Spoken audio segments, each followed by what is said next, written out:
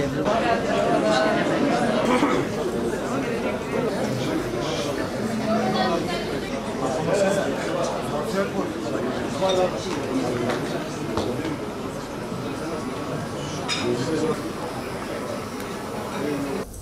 Biliyorsunuz ki bizim yerel yönetimler anlayışımızda tek başına iki insanın dudaklarının arasında çıkacak kararlar değil, toplumun bir bütünü dahil olacağı kararlar bizim için esastır.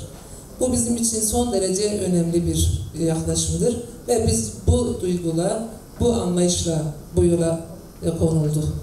Onun için hepinizin burada yapacağı bugünkü çalışmamızda yapacağınız öneri ve görüşleriniz bizim için çok çok değerli. Amacımız en başından beri Akdenizlilerin ve genelde de Mersin'de ve coğrafyamızda yaşayan halkların demokratik, katılımcı, şeffaf bir belediyecilik anlayışıyla kendimizi de kentimizi de bizler yönetiyoruz perspektifiyle yapacağımız yerel yönetimler çalıştaylarımızı ortak ve kolektif bir anlayışla oluşturmaktı.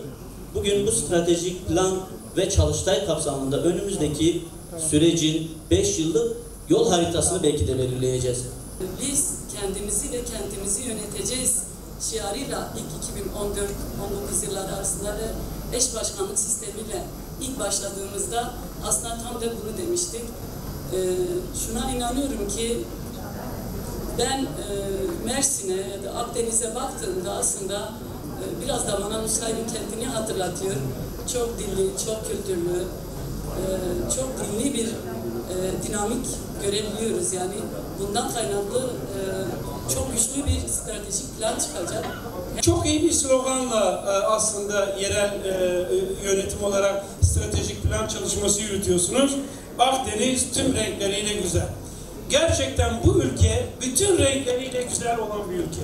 Fakat birileri bu ülkenin bütün renkleriyle güzel olmasını değil mermer olmasını istiyor. Birileri Akdeniz'in bütün renkleriyle güzel olmasını değil mermer olmasını istiyor. Tek renkli, tek sesli ve tek yapılı bir e, belediye olmasını istiyor. Biz bunu reddediyoruz. Bunu hiçbir şekilde kabul etmiyoruz. Bu kentte ve bu ülkede yaşayan her inancın, her etnik kökenden insanın, her mezhebin, her farklı yaşam biçiminin kendisine yer bulacağı bir ülke olmasını istiyoruz. Her dil, her inç, her inanç, her yönelim bu ülkede e, bölücü değil, tersine zenginleştirici e, bu ülkenin zenginliği olarak kabul edilmesi gerekir. Akdeniz'de eğer bunu yaratabilirsek, Akdeniz'de eğer bunun örneğini yaratabilirsek emin olun bütün ülkeye mal edebilir, bütün ülke için bir vaha değil, ülkeye e, yayılacak bir vaha olarak yaşatabiliriz. Ve bunu bu salonda bulunan arkadaşlarımız da yapacaklar. Sadece bir stratejik plan hazırlığı yaparken değil, 5 yıllık süre boyunca bu kentte yaşayan herkesle, bu kentin bütün dinamikleriyle, bu kentteki demokratik kitle örgütleriyle, kentin bütün dinamikleriyle bu şehri yönetecekler. Hiç kuşkunuz olmasın çok daha iyi bir Akdeniz yaratmak için gece gündüz çalışacağız diyorum.